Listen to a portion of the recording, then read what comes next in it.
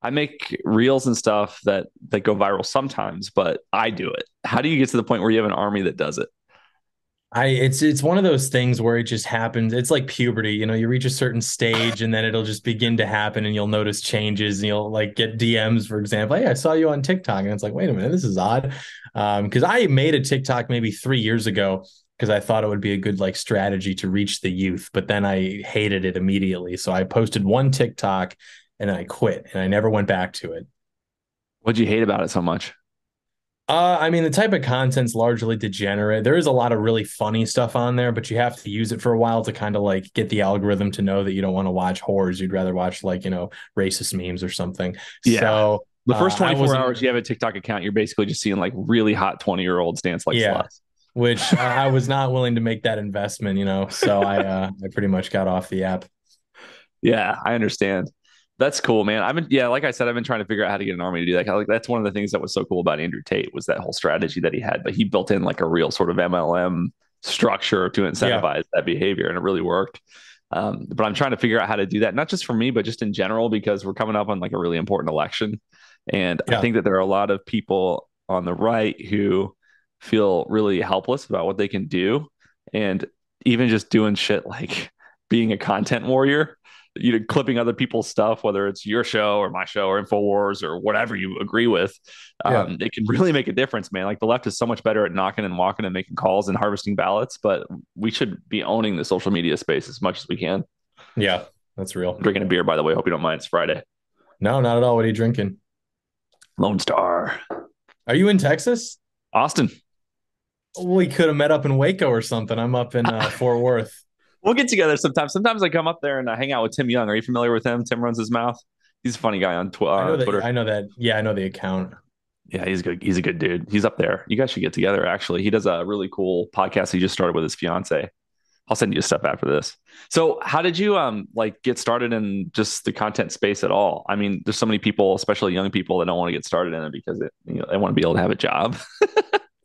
Yeah, uh, man, I wish I had a moment that that was like you know Chris Kyle watching the towers come down, where he's like, I know what I need to do. It was just yeah. like I, I grew up uh, listening to I guess Mark Levin or Bill O'Reilly in the background of sure. my house, so I was like vaguely or instinctively right wing or Republican, um, and then I started to get really into it during the Obama administration. But at the time, I mean, I was only like 10, 12 years old. So I'm reaching sort of my peak uh, or my my plateau or cap in terms of how you know involved in it I can really get. Not only because I'm 12 years old, but also because your brain is just so undeveloped. I mean, your concept of the world um, just needs to be so much more refined. Uh, and so then when I got into high school, it just sort of continued. And then I had I told myself I think when I graduated high school that I wanted to like you know throw my hat in the ring and see if I could do because I thought I would have something interesting to add to the conversation. Um, if I thought that you know it was being sufficiently articulated, then I would have just stood back and stood by and I would have went to law school or something. But I did think that the uh, predominant like right wing media conglomerate was missing out on a lot that needed to be discussed, and so um, I took my Subway nest egg and I bought a bunch of equipment. And I started making content, and then it took off uh, pretty quickly, actually. And I've just been doing that ever since. What year did you graduate from high school? 2018. Okay, man, you're a young guy. So I graduated in 2010, and I don't know wow. what your experience was, but my experience was in high school nobody talked about politics. Like I was always a right winger. I was an Ayn Rand fan. My friends were probably left leaning. They were like there were a lot of union kids, you know, sort of around. But yeah. like we didn't care. It didn't matter at all. Do you ever remember a time in your life where it, like it didn't come up? elementary school, maybe. Um, yeah, but like but, I, I don't mean, know. I, I to this day do not know who my best friends in high school's parents voted for. Like, no yeah. Idea yeah, it's uh I guess since I I've reached the age of reason so to speak, I don't have any memories of like, you know, social environments in or, or like in a middle school or high school. And you know, it would come around every 4 years. Um, I imagine now it's much more proliferated because of things like Black Lives Matter or the whole Roe v. Wade thing. I imagine yeah. now like you can't escape it at all, but there was like every 4 years, you know, it would come up. And I remember during the Obama election in 2008, um, people were just asking, "Oh, who are you going to vote for? Who are you going to vote for?" Which obviously, like, we're not voting, but it was to say, "Who are your parents voting for? Like, who do you support?" Um, and I remember there were only a maybe three kids that were saying they supported McCain, and I was one of them. Uh, and then there was yeah, like two more. But I remember my teacher, Mrs. Gordon, she complimented this girl who had like an Obama pin that she was like wearing to school. Uh, this girl who was a problem child, frankly. I remember just like watching that happen, and I was just kind of like, "This is really weird. Uh, why is she like you know supporting this person or whatever?" Um, and then I got in trouble because we had to do in my fourth grade class, we had a, a whole unit on Black history. So we had to do a project where we pick a Black person and we do a whole presentation pretending to be them. Uh, oh, so fuck. Chose... Did you do blackface? No, they literally stressed. So like on the little like paper, they had at least like three times, like, do not do blackface if you are, do not do. so um, I chose to do Obama. And I told okay. my dad, I was like, yeah, I'm going to do Obama and then he was like uh, he started getting all you know boomer about it he was like oh we're gonna get you on fox news this is gonna be you because he wanted to make it like a big like fu to the obama administration right. so i'm like taking my notes and everything i'm like okay this guy is like a rabble rouser over in chicago community organizer drug mm. user probably gay and i remember when the first like checkpoint was we had to take 10 notes on our person. I remember Miss Petaway, I shouldn't be saying these names, but my fourth grade teacher uh, leaned over my shoulder and she was reading my notes and she was like, Oh, well, we are going to need to like revisit this. And so we had to have like a meeting with my dad and everything. So then I was like, Okay, I'll take it seriously because my dad was still like, This will defend. I want to make this you know, and my mom was like, no, he needs to pass. So my mom told me that if I got an A on the project, I would get to go to Zap Zone laser tag. And I was like, say less. Sorry, dad. Um, so I did it. I did it well. Gave my Barack Obama presentation uh, for Black History Month, and I got a 95% on it. Went to Zap Zone, got 800 tickets, and I bought a Krusty the Clown stuffed toy from the top shelf. And yeah, I don't remember what you asked. Do you still have trip it? down memory lane. Krusty Clown. We were just talking oh, yeah. about like politics coming up in school and how yeah. like my generation, just ten years before yours, I mean, nobody gave a shit. Yeah, and, and so that's the thing too. Like we had kids that were like political kids. These kids yeah. are dorks. These are the kids that like wear the suit to school, and they're oh, like, oh, yeah. all their opinions are like really just stale and uninteresting. I was more of like a, a troll where, you know, I, I possess right wing opinions, but I really just kind of got off on like saying them to liberal kids in a way that not to like, you know, start something, but like I'm not going to tell you that my most controversial opinion is like I want a 10% flat tax. Like I want to I want to push your buttons a little bit more with the way that everything's going in this country. So that's why I wasn't voted like most likely to be president. That was the, you know, the dorky kid. I was voted most likely to protest because I was just always, you know, getting in people's faces about these things. Because by the time I got into high school, because uh, Trump was running, and so 2015, yeah, he announces in June 2015, school had just gotten out, and I'm back uh, for my sophomore year, and everybody's talking about it. And I was like the only kid outspokenly in support of Donald Trump. Um, and it, I lost like all my friends uh, because that's that's not like a high status opinion. Like I was very popular, everyone liked me, but then when you start to embrace low status opinions, you become like radioactive, right. and so people don't want to be friends with you anymore. But yeah, I imagine now it's like impo- and that's you saw this too. I mean, during like 2020, everyone was posting the black squares on Instagram. Like you literally could not exist in any sort of social climate without demonstrating your support for the predominant narrative. Um, and you when you were in school, I mean, I'm sure you never experienced anything like that. I really, I didn't have enough of a following then to do it, but I really tried to get the orange square going at the same time. Yeah. Yeah. Stand with President Cheeto. right. Exactly. Yeah. It, yeah. I mean, obviously Obama was controversial, but and the funny thing is, as much as I hated Obama, he seems like a saint compared to what we have going on right now. Do you do you feel that at all? Like just every he was corrupt and he was screwed up and obviously deceitful and lying about his history and all the stuff he did was terrible. But at least everything felt like it was getting better at the time, despite him. Now everything feels yeah. like it's falling apart. Yeah, I think that that's probably um, it, it relies on like social capital that had already been built up. But I think Obama sort of wedged himself such that the uh, I guess the dam became more cracked. So I think that like the things that have caused our country to be the way that it is now uh, were more or less solidified during his administration, but it just wasn't as obvious to us yet because, I mean, we're still in, being introduced to all this cool new technology, and you know the culture's still relatively wholesome, and you know crime's right. relatively under control. Um, you know, people still think that we can like I don't know, go to the moon again, or you know, solve traffic, or you know, build. Antarctic and he killed Osama bin Laden. You yeah, know, which yeah, I know he took out bin Laden. Yeah, so it felt like we were like making progress finally in the war. I don't know. Yeah, yeah, yeah, yeah. Uh, and now, I mean, it's obviously just a circus, and, and I don't think anyone thinks otherwise. Too. I mean, even the polling, uh, like 80% of the country at any given time thinks we're going on the wrong track. And the real black pill is that people will share that poll and they'll be like, look, a majority of Democrats don't want Biden to run. Look, majority of Democrats think that the country's headed in the wrong direction, even though their guy's in office. These people believe that, but then they will say, okay, but the solution is to put someone farther left into office, or the solution is to so they'll still like vote for the same people, but they're like, oh, this guy just isn't doing it right. We need someone to do my like libtarded worldview the right way now. Um, and so they don't actually, it's not a win for us. Um, except for being able to like maybe dunk on our aunt at Thanksgiving or something. Yeah. I was thinking about John F. Kennedy earlier because I've been messing around with some some voice AI for some video content that I've been making, and there's a really good deep fake tool that you can use for his voice if you want, like a text to speech thing.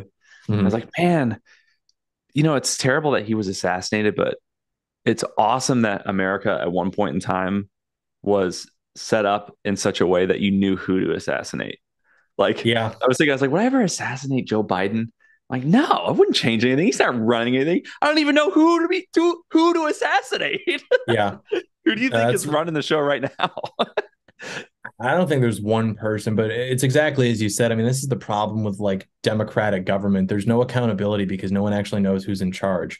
So like you, know, you can have like some king or some tyrant if you want things to change like you know where he lives you can you can have a revolution you can have his uh, sort of cabinet so to speak take him out um, you can't actually have any sort of like regime change in a democratic system because nobody actually knows who is in charge.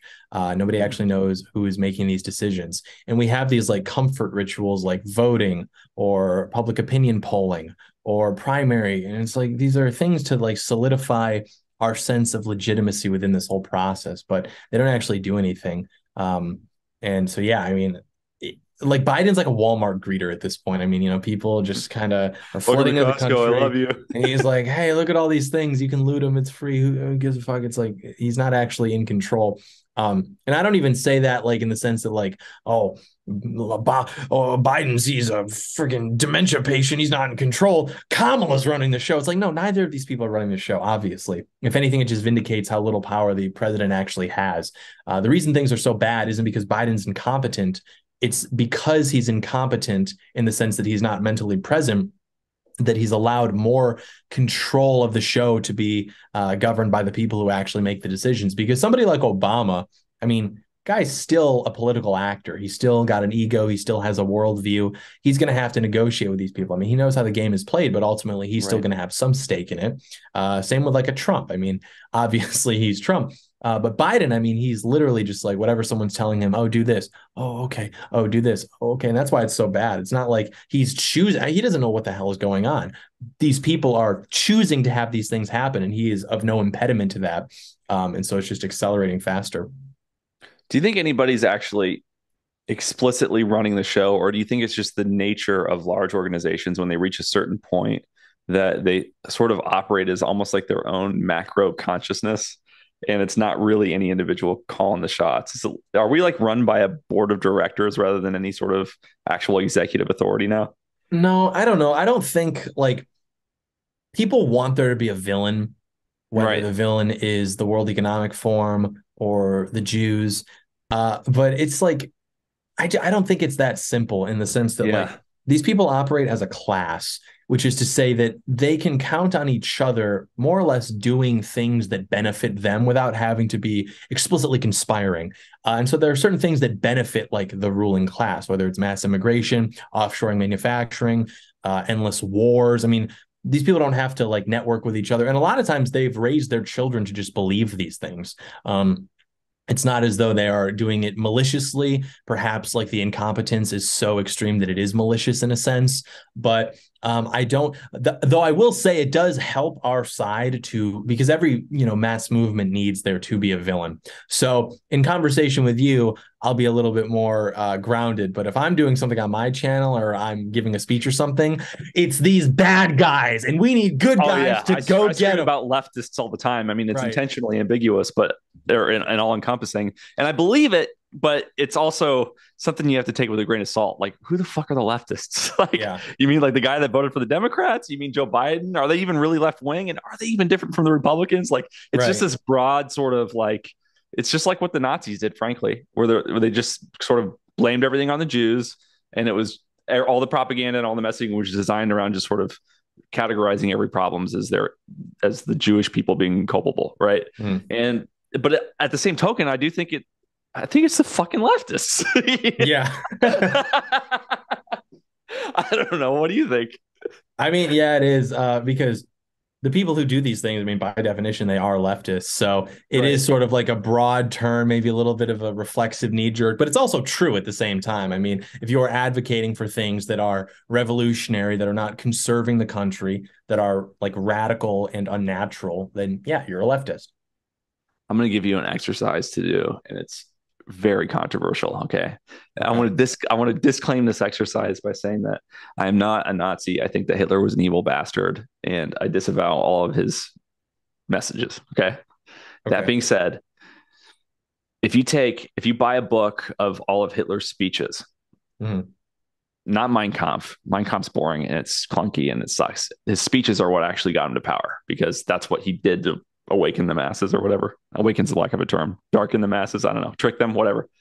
If you take his speeches and you replace every usage of the word Jew or Jewish or anything Jew related with leftist, it makes perfect sense. you yeah. know what I mean? Like in today's context. And that's kind of what I'm concerned about is like as shit gets worse, the people are going to get more and more frustrated and radicalized. And we're eventually going to pin it on someone, whether or not they're, they're culpable, whether it's a group, whether it's white people, whether it's the Jews, or whatever. It's going to get pinned again. That's what happens when cultures collapse. They pin it. Absolutely. And and there's going to be we're going to have this huge power vacuum where there's room for somebody like Hitler. I'm not saying it's going to be some anti-Semitic, you know, neo-Nazi, but it would be someone that radical in one direction or the other. Yeah. That's going to come to power. Yeah, no, you're absolutely right. Um, and both sides of the extremes understand this. The people in the middle think that we can kind of like vote our way out of this or own the libs our way out of this. The people who have done the reading seem to understand that we are within 20 years of mass graves. And at this point, we're just trying to figure out who's going to go in the mass graves and who's going to be digging them. Um, and if nothing That's changes, statement, dude. That's a statement.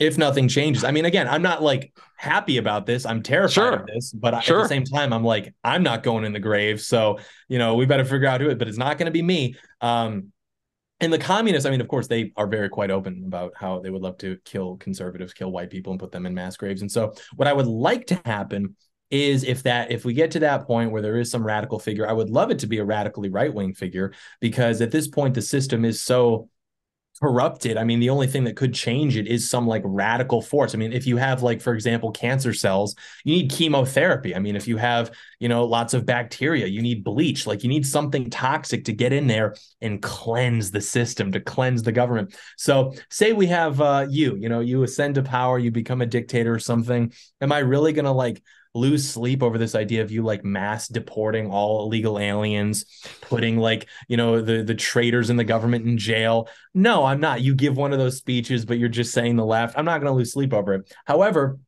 because it's true. But what's probably going to happen is things are going to get worse. The material standard of living is going to decline, and it's going to be blamed on Christians. It's going to be blamed on white people, conservatives, yeah. um, because it's this idea of progress. I mean, the hypothesis is so like metaphysically true that progress is good. And if right now we aren't living in good conditions, then the only thing that could be causing it, obviously, is those who are impediments to progress, which are conservatives, anti progressives. Um, so yeah. They're far more organized than we are. Um, I just, I probably, if it gets to that point, they're, I don't know if it would be a communist. You might see something like an American uh, Hugo Chavez, but I don't think we're going to have some situation where you know there's like an American Caesar. I really hope so because that would be great, but I don't think it's going to happen. Uh, at least not in the next 10, 15 years. At some point, I do believe this country will correct itself because it's impossible for it not to. Um, but in terms of what we're going to see first, I think the the radical reaction is probably actually going to be from the farthest left uh, before it's from the right. Yeah, I think there's, I think that's all very reasonable. My concern about a correction is that anywhere in life where you make a correction, whether you try to lose weight, whether you try to get out of debt, whatever it is that you're facing, it's always really fucking painful hmm. to make the correction. You have to do like the work, right? You have to, as Jordan Peterson say, you have to make your bed, right? right. And so, since things are so screwed up right now, I can't imagine how painful the healthy correction is. Like, all right, well, what happens if we admit that the dollar is worthless? Right. you know, like, is it going to collapse totally? And then we start a new thing with a gold standard and like everybody loses everything, but what's at least we fixed it and we restart. Like, it's going to hurt no matter what. And that's why they keep kicking the can because nobody wants to like get caught with with their pants down when the when the song goes off and there's no chairs to sit in right nobody wants to be holding the bomb when it explodes yeah. and so i don't know i'm i'm just worried that even if we correct it's going to be brutal Probably, uh, but it's probably less brutal than what's going to happen if we don't. Because yeah. if we don't, I mean, not only is the dollar going to collapse, you're going to have the country completely run by like criminal gangs and cartels, um, and and we don't really have like a military force or a police force that would be able to contend with that whether because at that point they are underfunded or disorganized or because like our federal government who would be in charge of protecting american citizens is now pretty much hostile towards them more so than they all more so than they are already such that you know oh sorry we didn't get the call in time. Oh sorry you know like that i mean that's why they're shipping these people to red states. I mean they want red states to have to deal with the consequences of mass immigration from the third world. So say things reach a, a sort of um, oh, what's the term in physics? A critical mass where hmm. you've got not like a full, you know, dramatic Mad Max collapse, but you've got like chaos.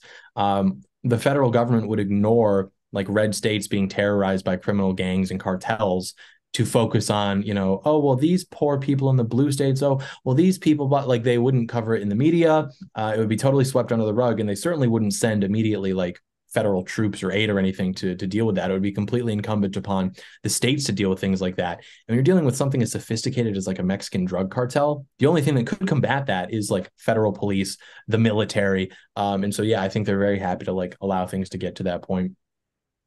Do you think that we're going to have a civil war in this country and in the next century? No. Um, the reason for that is because like a civil war, I mean, when I think of a civil war, I think of like Syria um, our Civil War was a war of secession, and both sides had independent cultures. I mean, there was overlap, obviously. Uh, they had a separate class of elites. There was like a distinct boundary. We don't have that. I mean, our boundaries would be like, you know, cities versus suburbs or more rural areas. Uh, but the problem is the right wing doesn't have any elites. We don't have any elites on our side. We've got maybe like Peter Schiff, or not Peter Schiff. Well, yeah, Peter Schiff, uh, Peter Thiel, um, Elon Musk, maybe. I mean, you know, we've got like a handful, but in terms of like all the people with the power, they're all overwhelmingly far left. Um, and whether or not we like it, I mean, every time there's been a successful regime change or revolution or civil war, or whatever, it's always like been backed by elite support and institutional support. We also have no institutional support. We've got think tanks, we've got law enforcement, kind of, and we've got like some part of the military. That's like the Nazis didn't have a lot of institutional support though. Oh, they absolutely did. Hitler had allies within the, the German military, within the German governments. Um, he had That's a, a true. Lot... But when, when, but when the Nazis first came to power and had representation, only one in forty Germans was a Nazi. I mean, that, they were well. That's like the whole like the whole population. Country. Yeah, right, right. So this is what I'm saying is you don't need the mass movement. I see. Because I see. you need like the people who actually are in positions of power. Uh, you don't even need like all those people, but you can have enough, which is why I don't think we'd ever have a civil war or some sort of like uprising because people pretty much go along with whatever's happening. Uh, it's it's really like a spectator sport between the people behind the scenes in these institutions playing tug of war. Um, and so that's good news in the sense that like if we could take those institutions back, we could avoid all of this. The problem is, will the right do that? Probably not, because there's so many barriers, whether because of affirmative action or like cancel culture. I mean, even motivation. I mean, the average right wing guy who's up and coming is much happier to, you know, go do his own thing. Because that's the other thing with conservatives, like physiologically or, or psychologically, we don't feel obligated to actively work to conserve. We kind of take things for granted. Right. We were the, reactive too. Yeah. Like we're trying to protect something that already exists rather than like fuck it up or make something exactly. new. And so we just left, sit and wait for the left to do something all the time. Yeah, they're miserable. And so they're playing black and chess. You know? Literally, yeah. They they're very happy to make their entire life's mission like destroying America just because they hate their dad. And so you've got like some say 125 IQ white guy who is conservative and he could, you know, go work at some institution, climb the ladder, be a competent political figure, but he'd rather go work in finance or he'd rather go, you know, clerk at a law firm or something like that, which is almost like you can't blame them. You can't fault them. I mean, it sucks sure. that we are collectively in this position. However, we're still in this position. Somebody's got to do it uh, sooner rather than later. So What's fascinating to me though is like typically when you look at the history of revolutions, they come out of like a, a desperation, right? So when you look at what happened, for example, in Germany, unemployment was 30%. They had the hyperinflation problem, and then that radicalized the people. And then countless other examples throughout history. It's been like that. But mm. in the case of the United States, when we had our Civil War, like it wasn't a particularly desperate time. The South was just like, fuck you. Yeah. you were just like totally unique. You know, I, I, you know, we still have our houses, we still have our property, we can still put food on the table, but fuck you. Like, yeah. that is Admirable. the audacity is insane. Admirable, the Southern spirit. And it yeah, will and like I'm again. not a racist guy. I don't believe in slavery, and you can argue all day about whether the war was really about slavery, and I don't want to get into that. But I do respect the Confederates for just being like, "Fuck you." yeah, no, I, you know, here's like I don't know if this exactly switched my opinion. I was never really like pro union just because I maybe I sure. wanted to be edgy or something. I noticed like all the libtards were like glorifying the union and Abraham Lincoln. So I sort of had like he was a racist en- bastard.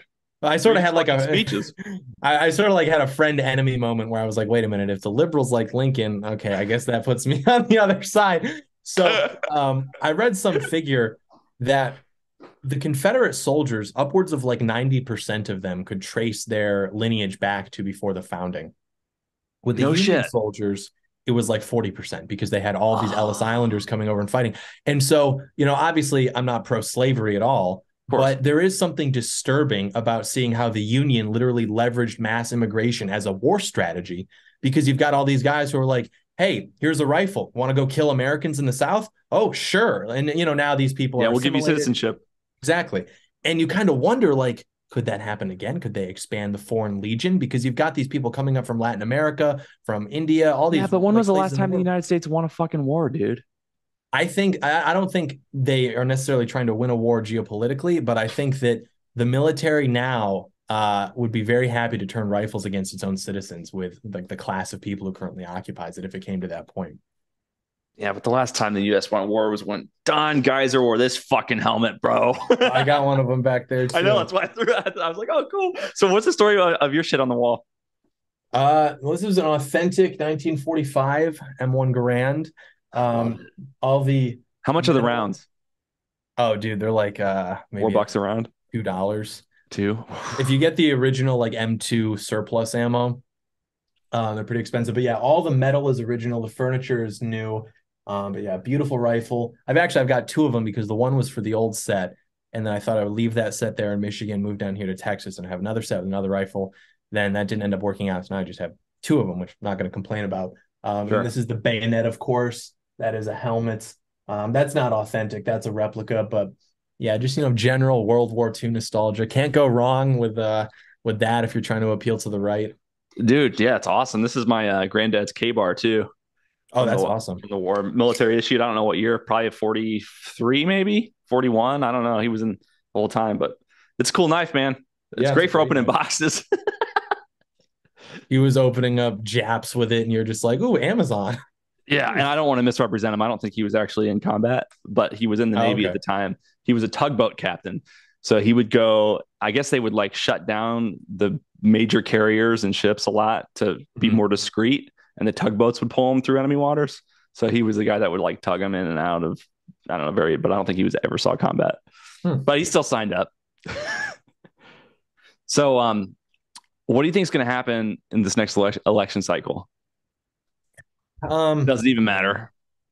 Yeah, like I obviously I support Trump and I I think he could win. I think he would obviously win if it were fair, but I don't know that enough has been done about the fortification uh, since last time, and I, so I don't know if he could actually win again. I don't know if any Republican could ever win again nationally um, if they were running on you know actually conservative Republican issues.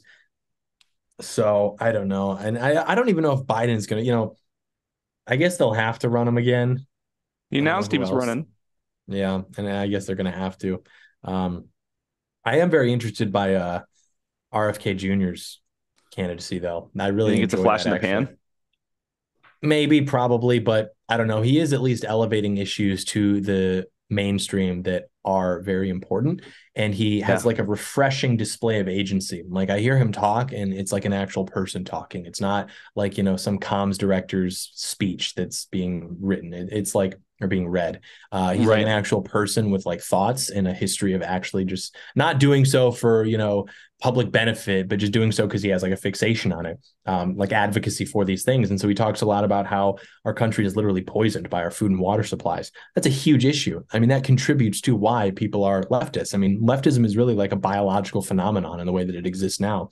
You've got all these people who are depressed, spiritually ill, dysgenic freaks, and there's a reason like all the Antifa mugshots look the same. Like these people are not healthy, and a lot of that is because the hormones are uh, completely messed up from endocrine, disrupt- endocrine disruptors in the food and the water, the pesticides, food packaging, shampoo, toothpaste. I mean, everything.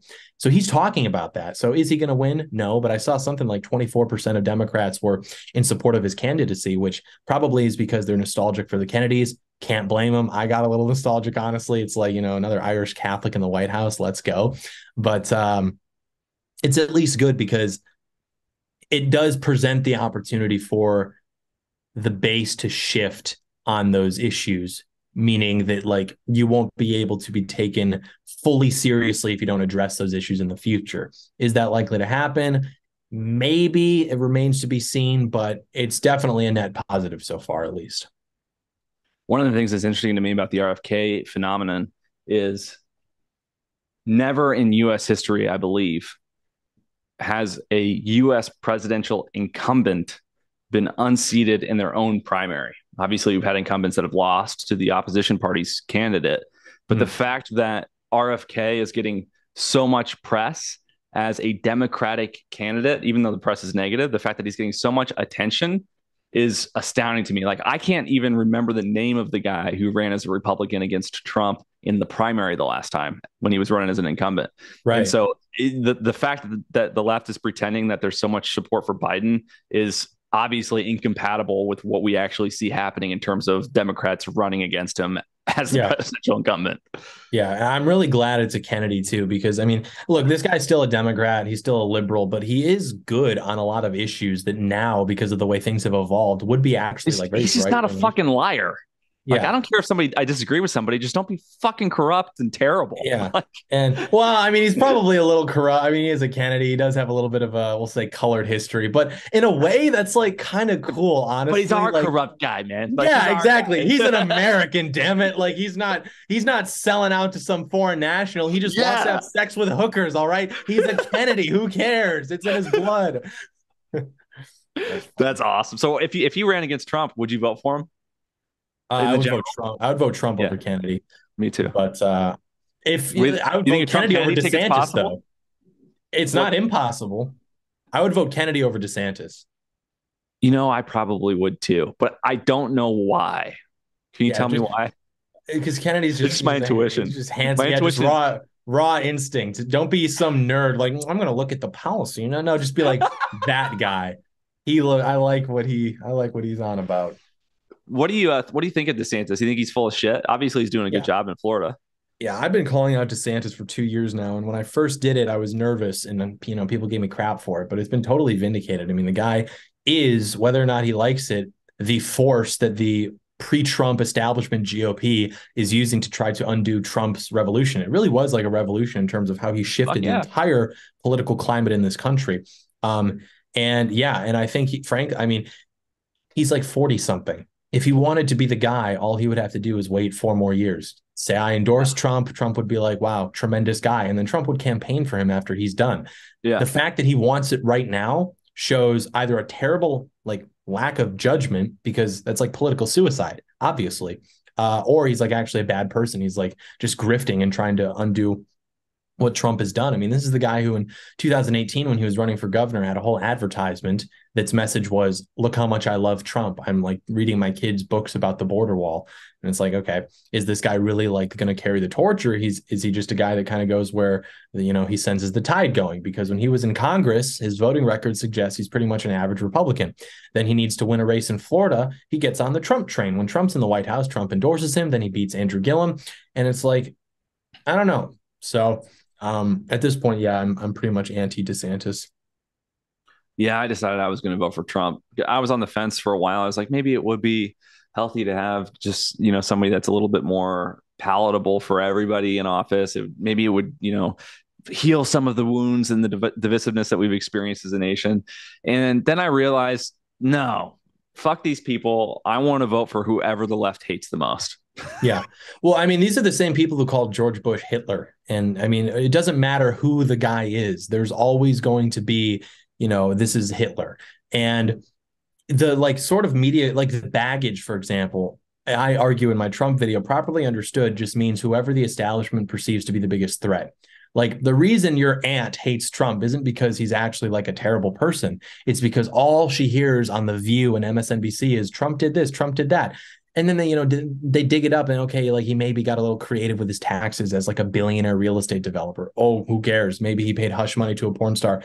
Who cares? Like i'm not saying i love trump because he's just been so faithful to his wife. I love trump because he's going to like take out the illegal immigrants you know? He's going to bring back the jobs. He's going to make america great again. So you can't get around the you know the the pain the hurt what is it? The the hurt box i think they call it. Anybody who's legitimately transgressing against the way our system works is going to have baggage because the media is going to convince everybody that. So if they aren't doing that because or to Ron DeSantis, it's because they don't actually perceive him to be a threat. Now you are going to have like liberals working in you know Vice or Vox or BuzzFeed who are like genuinely off put by DeSantis because they think he's like a fascist or whatever. But in terms of like top level media executives saying cover this person negatively, you're never going to see something like that with DeSantis because he's not actually a threat. I mean, yeah, he's good on the culture war stuff. Yeah, you know he passes good bills in a you know state that is red with significant red majorities in both chambers of congress. It's like okay you know cool very impressive.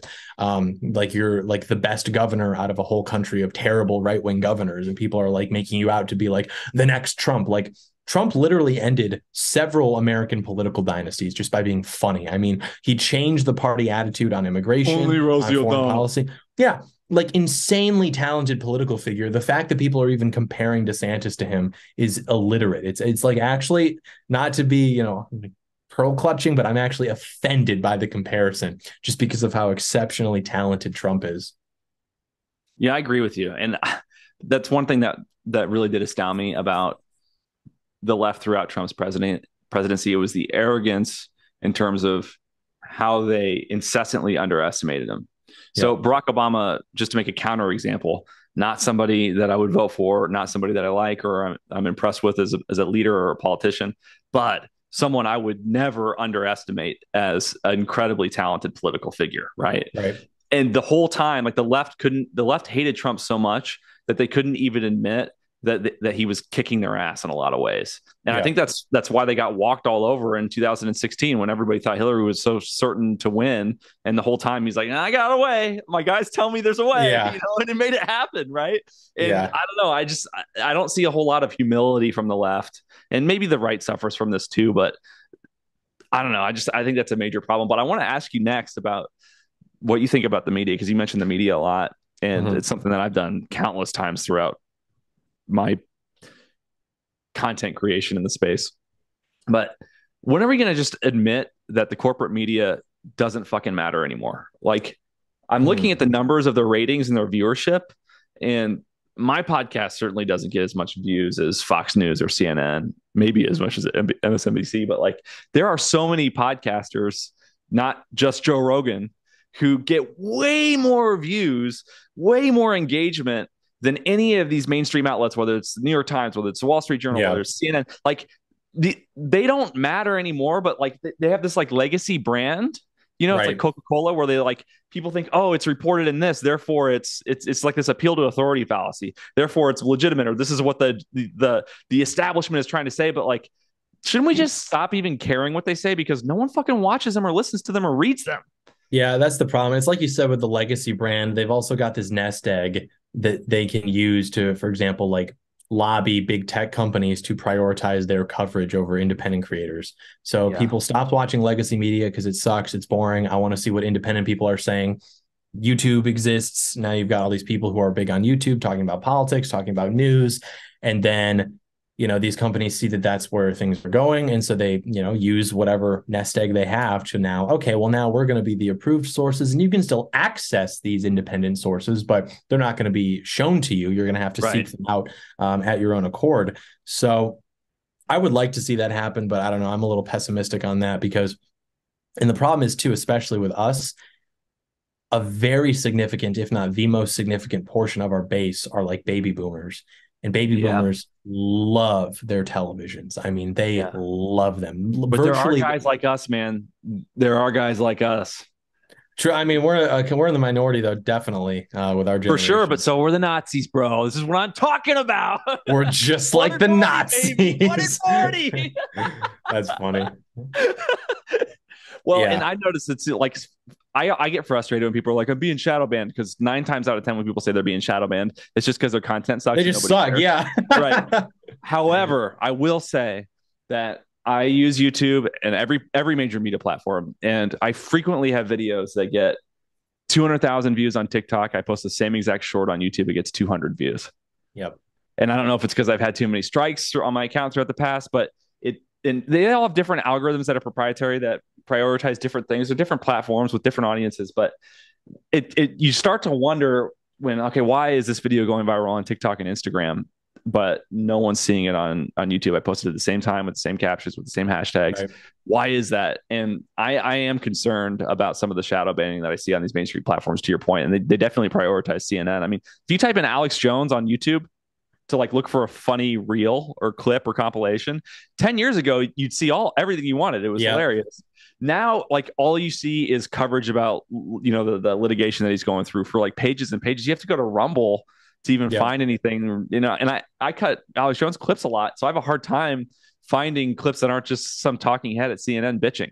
Yeah, it's so unfair and like annoying. I mean, I hate that they're rigging the if they acknowledged it and they were like, you know, we have to yeah. rig the game. And I guess they do kind of, but I don't know. I just hate how they claim to be so committed to democracy and, you know, majority rule, but then they censor all of our ideas. That's why all of the most like zero regulation areas on the internet are always like the most right wing because yeah.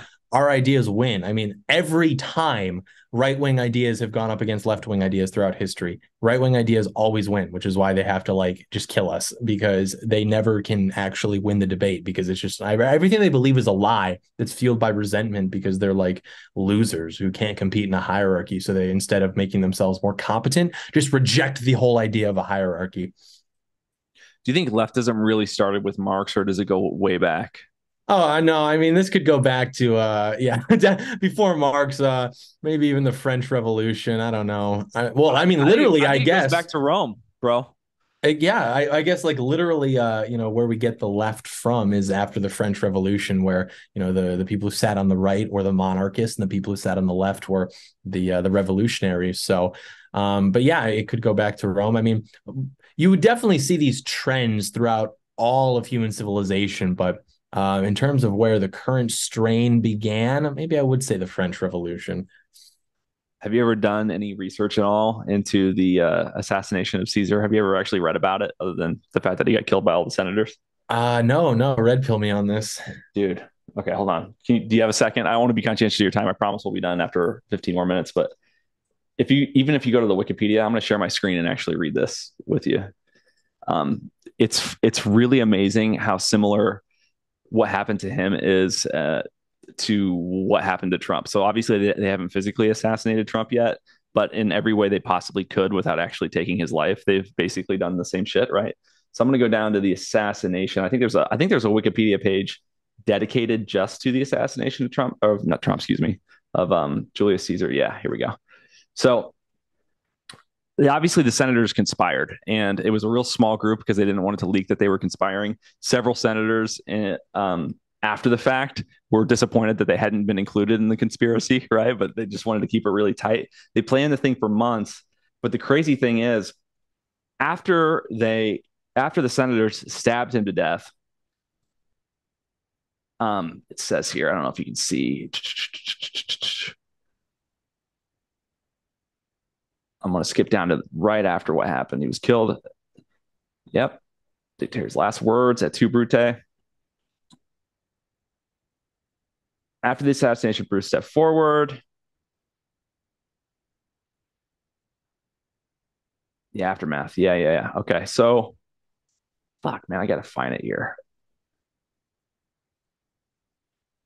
The senators ran through the streets and said something to the effect of, you know, people, yeah, people of Rome, we are once again free. So the people knew something happened. They locked their doors because they were scared that there was something mm-hmm. going on.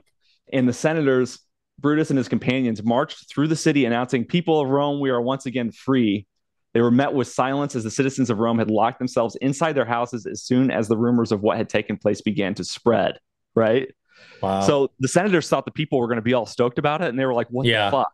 And then if you look at the aftermath, of what happened, a crowd amassed expressed their anger at the assassins by burning the Senate House.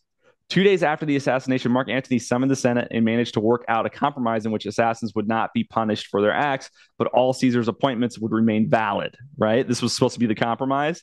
And when they did, when they had his funeral, and this is well documented, the people were so pissed off that they threw their furniture and belongings onto the funeral pyre because he was cremated, and it almost burned down the forum. Like wow. this was like a situation where where Caesar was like their Trump. He was like this populist guy who came in and just eradicated the corruption that existed. Obviously, he was a dictator, which is a problem in and of itself. But it takes a dictator to sort of eradicate this just bureaucratic corruption that the Senate had amassed over centuries, right? right? And and they loved him. He hadn't done anything wrong yet, other than piss off the political class. And they were so disappointed when he was assassinated. Like we think of it as, oh, you know, this is the first assassination of a tyrant by the representatives of the people. It's like, yeah. you read the history, everybody was pissed off at the senators for doing it. Yeah. Yeah, and that's the thing. Like these like political nerds who write the history books, uh, they're always going, "Oh, Caesar, he was a dictator," and these noble senators, and it's like these people. I literally, I wish I could find a less crude way to describe it, but it's masturbation. I mean, when these people get together and they like talk like this, they're literally just like participating in this circle jerk of just like, oh, you know, democracy and politics and good statesmanship. Like you should be, you should like actually be killed. Honestly, like you should be killed for saying stuff like that. Like it is so stupid. It, it violates my pursuit of happiness when people say things things like that. When people say things like that, it is so stupid that it actually makes me a danger to myself, which in a way means that if I kill them for saying that, I'm standing my ground. It's literally self defense. Like this, I would love to like argue this. Dude, that is a fucking can of worms. In, a, in a court of in a court of law. Your Honor, the person said our democracy one too many times. Yeah. No, I can't stand these people yeah, words words are violence. There, if words are violence, that means that I can kill you if you say something that I feel is a threat. Right? True. Yeah.